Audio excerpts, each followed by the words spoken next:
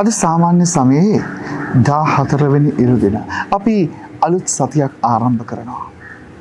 මේ අලුත් සතිය ආරම්භ කරදි ප්‍රමාන්තයන මේ සතිය පුරාවටම අපිට හරි සාමාන්‍ය දේවල් වෙන්ඩ යනවා. සාමාන්‍ය සිදුවීම් සාමාන්‍ය මිනිස්සු සාමාන්‍ය ජීවිත රටාවන් අපි හැමදාමත් උදිර නැගිටිනවා කනවා බොනවා උයනවා පියනවා රස්සාවල්ලට යනවා ඉට පස්සේනවා අපි අපි ඔහේ ජීවිතය අපි එම සාමාන්‍ය විදියට සාමාන්‍ය දේවල් එක්ක අපි සාමාන්‍ය ආකාරයෙන් ගලාගෙන යන්න යනවා. හැබැයි අද අපි දකිනවා සුවිශේෂය තුළ ජේසුස් වහන්සේ උන්වහන්සේගේ නෑදෑයන් හිතමිතුරන් අතරට එනකොට උන්වහන්සේව ප්‍රතික්ෂේප වෙනවා. උන්වහන්සව පිළිගන්නට සූදානම්නෑ. උන්වහන්සේව ඔවුන් දකින්නේ අර හරි සාමාන්‍ය කෙනෙකුන් ඔවුන් එක්ක ඉඳලා ඔවුන් එක්ක කාලබීලා ඔවුන් එක්ක වැඩ කරලා ඔවුන් එක්ක ජීවිතය බෙදාගන්න ඒ හිටපු කෙනෙක් හැටියට මිසක්. එතනින් එහාට දෙයක් දකින්නට ඔවුන් සූදානම්නෑ.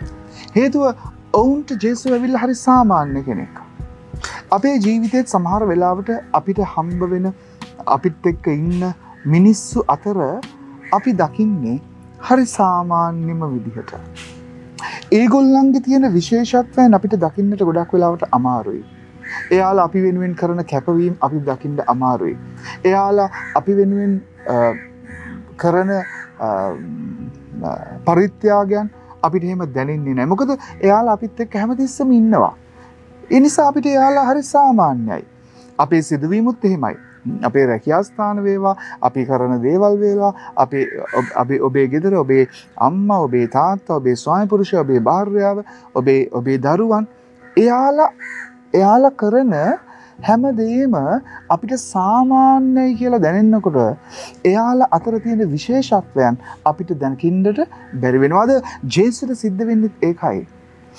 අපේ ධර්මය තුළත් සමහර වෙලාවට එහෙමයි ප්‍රේමාතයෙන්. අපි හැමදාමත් ඉරද පූජාවට එනවා යනවා පූජාවහනවා මේ පූජාව අපිට හරිම සාමාන්‍ය වෙලා. අපි කොන්ත කියන එක ගෙදර සාමාන්‍ය වෙලා. අපි අපි ශුද්ධෝපය කරන එක සාමාන්‍ය වෙලා. අපි ශුද්ධෝපය පුළුවන්නම් විනාඩි හතලිස් පහින් කරලා ඉවර කරන තරමටම එක සාමාන්‍යයි. අපි දේවල් මේ විදියට හරිම සාමාන්‍ය විදිහට කරගෙන යනවා මිසක් මේ සාමාන්‍ය දේවල් තුළ අපේ තියෙන විශේෂත්වයන් අපි දකින්නේ නෑ. දිව්‍ය පූජාව තුළ තින විශේෂත්වය අපිට දැනෙන්නේ නෑ. ජේසුව නිසා අපිට දැනෙන්නේ නෑ. අපේ ගෙදර ඉන්න මිනිස්සුන්ගේ විශේෂත්වයන් අපිට දැනෙන්නේ නෑ මොකද දෙගොලු සාමාන්‍ය වෙලා. අද සුපුවත තුළ අපිට කියනවා බොහොම පැහැදිලිව ප්‍රේමාතෙන්නේ. මුලින්ම ජේසුව ඔවුන් අපේ ජීවිතයේ ඒ උන්වහන්සගේ වැඩසිටීම නිකම්ම නිකන් සාමාන්‍ය දෙයක් බවට පත් කරගන්න එපා. ඒ හරි විශේෂත්වයක් තියෙනවා. ඒ විශේෂත්වය දකින්න. ඒ විශේෂත්වය හොයන්න.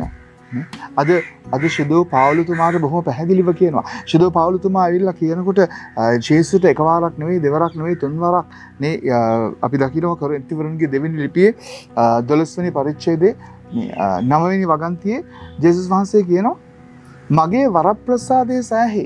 ඔබේ ජීවිතය හැම වේදනාවක්ම දුකක් කරදරයක් ඔබට ඒ ඇතිවෙලා තියෙන ඔබේ වේදනාත්මක පැත්ත ශිදෝ පවලතුමා කියෙන මගේ මගේ ශරීරය කටුවක් තියෙනවා මේ කටුවමට අයින් කර ගණ්ඩුවන මේ වේදනාවමට හරි අමාරුයි.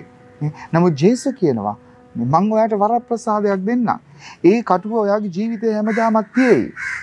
හැබැයි හැමදාම ඒ කටුව තිබුණට ඔයාට මම දෙනවා විශේෂ වරප්‍රසාදයක්. ඒ විශේෂ වරප්‍රසාදය තුළ ඔයාට ඔයාගේ ජීවිතයේ මේ ඔයාට දෛනිකව ලැබෙන හැම දුකක් වේදනාවක්ම ඔයාගේ අමාරුකම ඔයාට ජයගන්නට පුළුවන් වේ.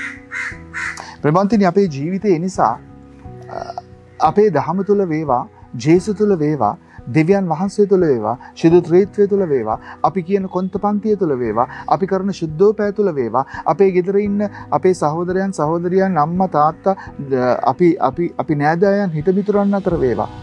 අපි හැම තිස්සෙම දේවල් සාමාන්‍යම් විදිහට විතරක්ම හිතන්ඩ ගත්තොත්.